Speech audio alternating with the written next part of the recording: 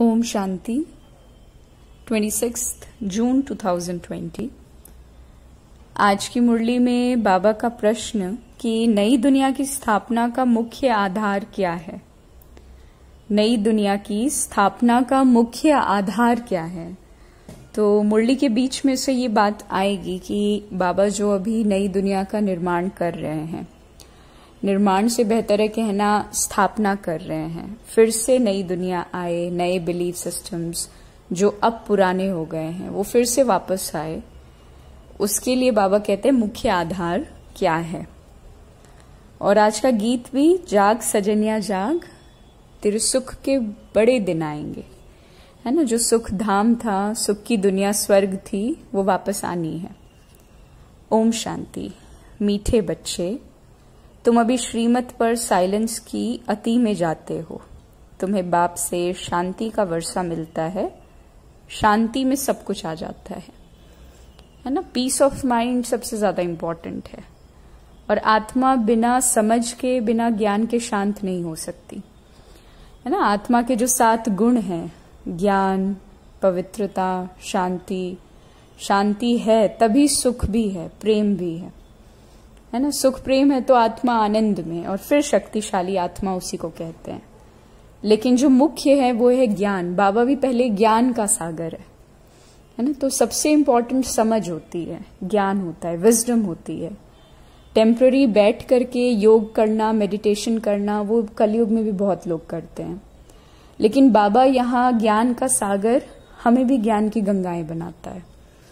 है ना? तो श्रीमत पर साइलेंस की अति में जाते हो, क्योंकि समझदार बन जाते हैं, है ना? तुम्हें बाप से शांति का वर्षा मिलता है। शांति में फिर सब कुछ आ जाता है।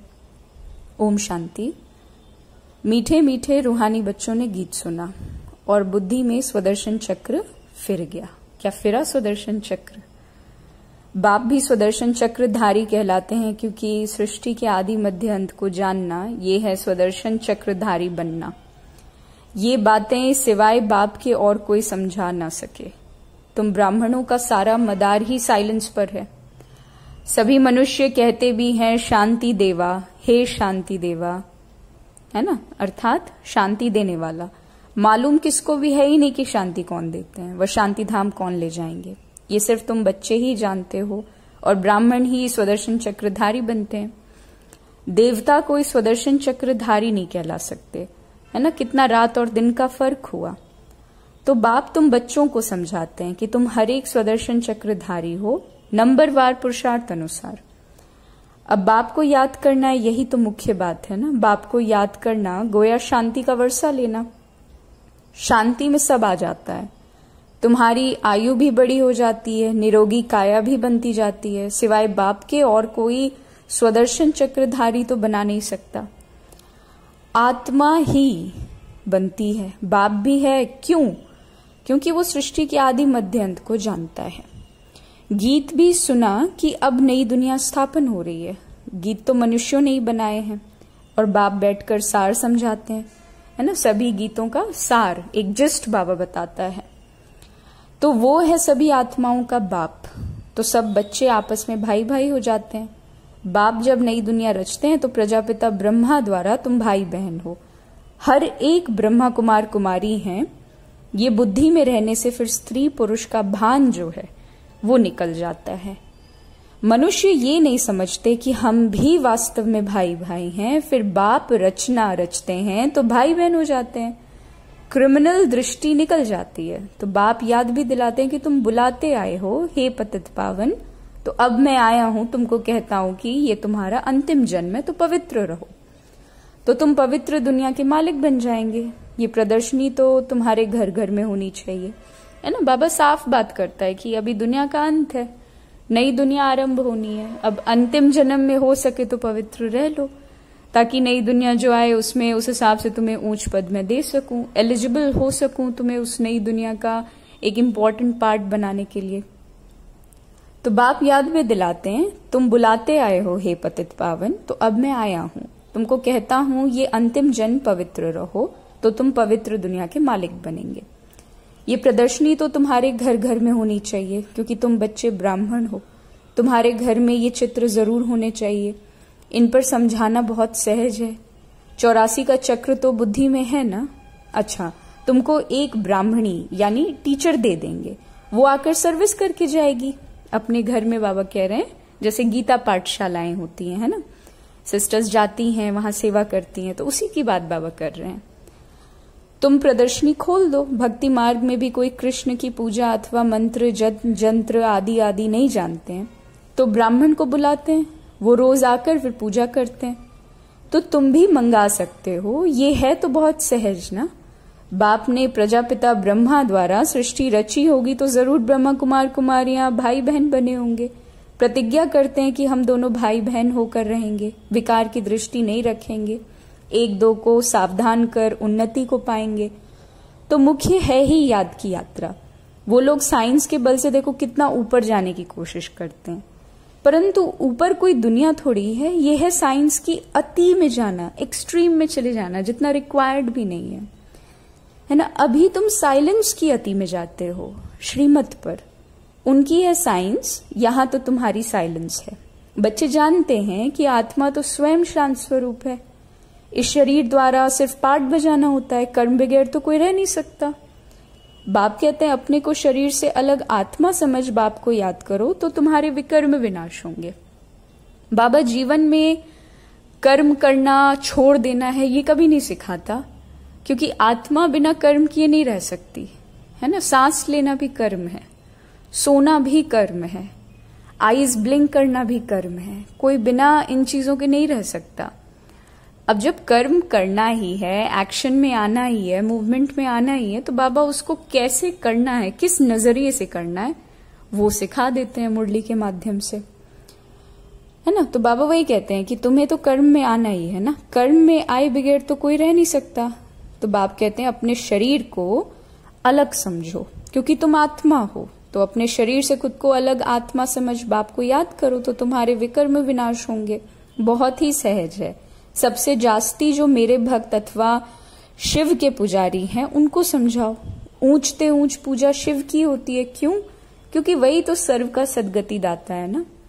तो अभी तुम बच्चे जानते हो कि बाप आए हैं, सबको साथ में ले जाएँगे।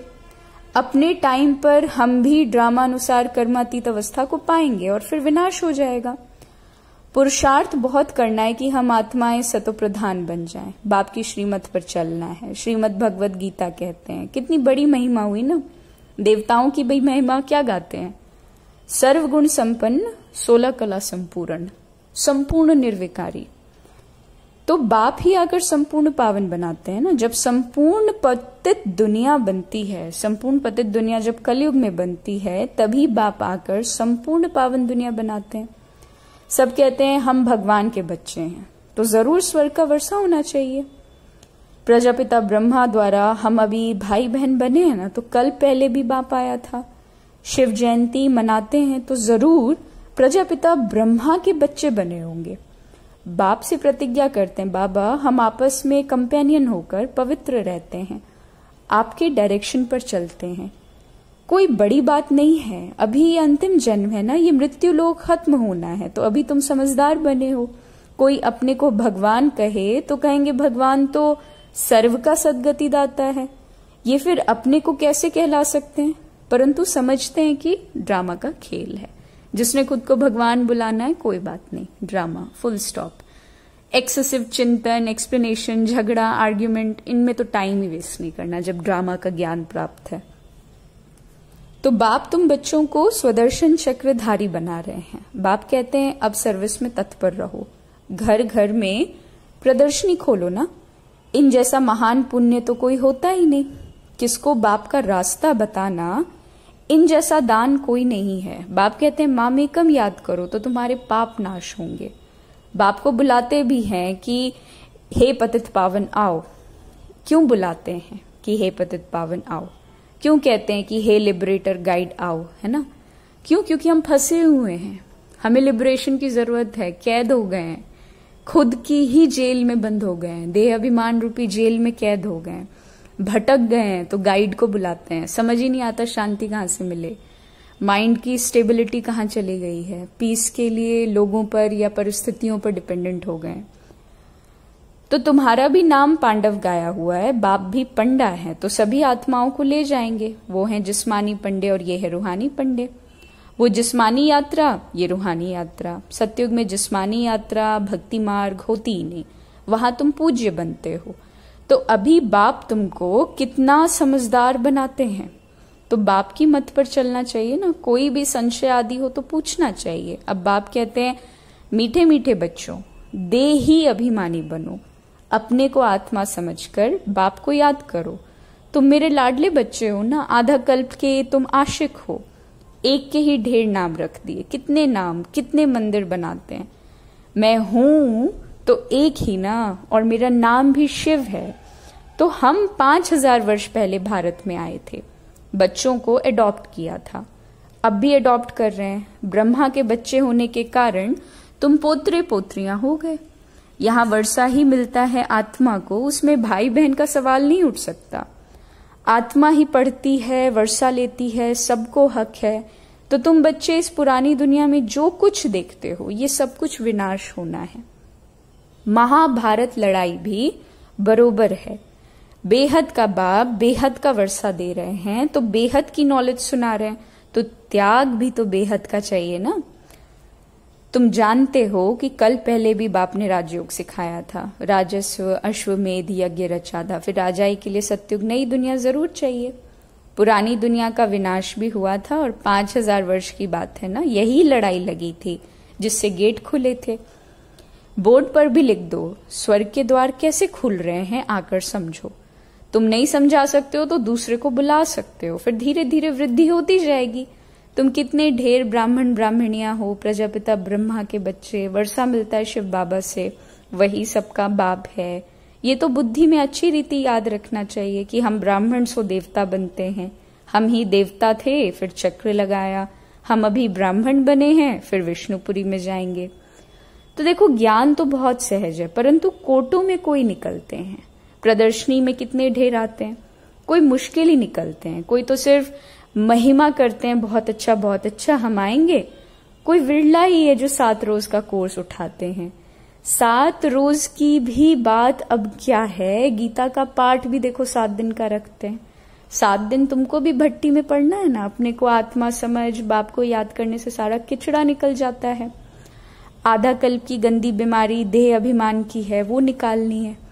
देही अभिमानी बनना है। सात रोज का कोर्स कोई बड़ा थोड़ी है? किसको सेकंड में भी तीर लग सकता है? देरी से आने वाले आगे जा सकते हैं। कहेंगे, हम रेस कर बाप से वर्षा लेकर ही रहेंगे। कई तो पुरानों से भी ज़्यादा तीखे चले जाते हैं, क्योंकि अच्छी अच्छी पॉइंट्स तैयार माल मिलता है। प्रदर्शनी आदि समझाने में कितना सहज होता है। खुद नहीं समझा सकते हैं तो बहन को बुलाएँ। रोज आकर कथा कथा करके जाओ। पाँच हज़ार वर्ष पहले इन लक्ष्मी नारायण का राज्य था, जो 1250 वर्ष चला। कितनी छोटी कहानी है है ना? हम सो देवता थे, फिर हम सो क्षत्रिय, वैश्य शूद्र बने। हम आत्मा ब्राह्मण बनी। हमसो का अर्थ भी कितना युक्ति युक्त समझाते हैं। विराट रूप भी है, परंतु उसमें ब्राह्मणों को और शिव बाबा को उड़ा दिया है। फिर अर्थ कुछ भी नहीं निकलता। अभी तुम बच्चों को मेहनत करनी है याद की, और कोई संशय में नहीं आना चाहिए। विकर्मा जीत बन, ऊंच पद पाना है तो ये चिंतन खत्म करना है कि ये क्यों होता है, ये ऐसे क्यों करता है। इन सब बातों को छोड़ एक के चिंतन में रहो ना कि हमें तमो प्रधान से सतो प्रधान बनना है।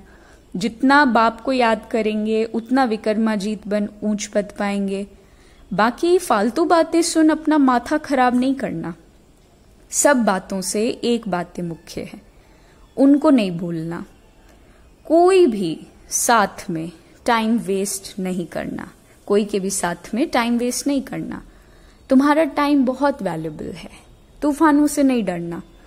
बहुत तकलीफ़ आएगी। घाटा पड़ेगा, परंतु बाप की याद कभी नहीं बोलना याद से ही पावन बनना है, पुरुषार्थ कर ऊंच पद पाना है। ये बाबा बूढ़ा है। इतना ऊंच पद जब पा सकता है तो हम क्यों नहीं पा सकते? ये भी तो पढ़ाई है ना, तुमको इसमें कुछ भी किताब आदि उठाने की दरकार नहीं है। बुद्धि में सारी कहानी है। कितनी छोटी कहानी तो है ना, सेकंड की बात है जीवन मुक्ति, सेकंड में मिलती है। तो मूल बात है, बाप को याद करो। बाप जो तुमको विश्व का मालिक बनाते हैं, उनको तुम भूल जाते हो। कहते हैं, सब थोड़ी राजा बनेंगे। अरे, तुम सबका चिंतन क्यों करते हो? स्कूल में ये ऑन ऑफ़ यानी फिकर रखते हैं क्या कि सब थोड़ी स्कॉलरशिप पाएँगे? बस पढ़ने लग पड़ेंगे ना तो हर एक के पुरुषार्थ से समझा जाता है कि ये क्या पद पाएगा।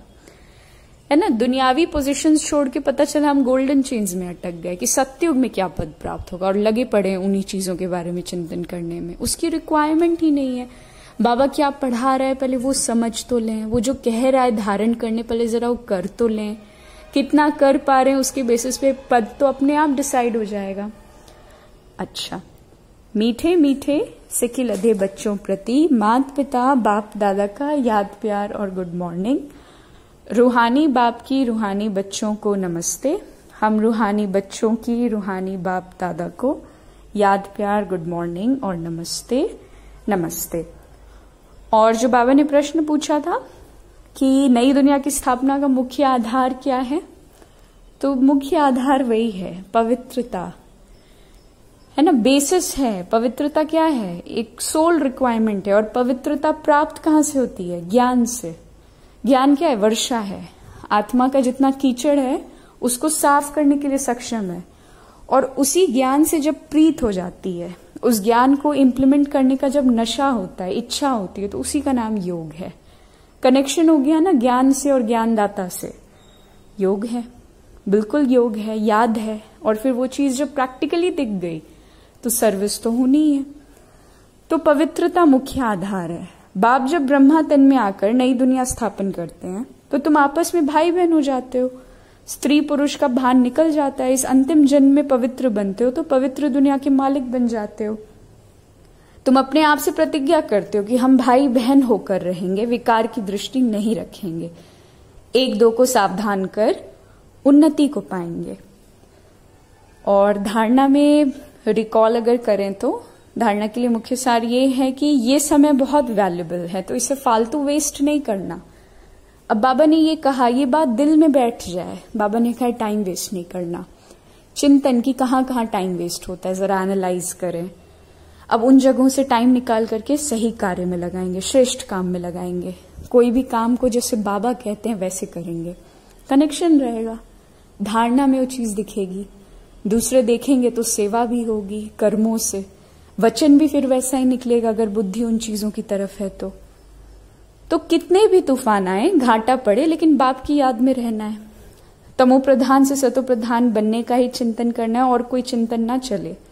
हम सो सो, हम की छोटी सी कहानी बहुत युक्ति से समझनी और समझानी है।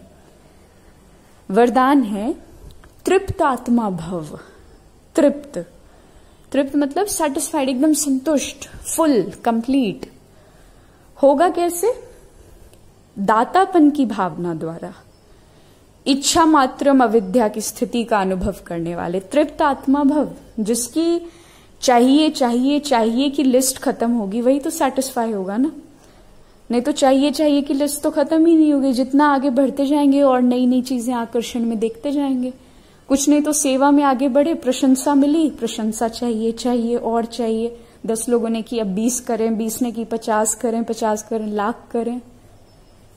है ना? तो दातापन की भावना रखना है कि देना है, लेना कुछ नहीं।